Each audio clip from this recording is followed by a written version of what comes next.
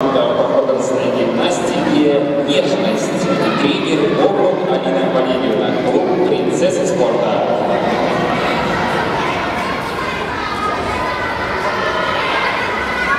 К выступлению готовится команда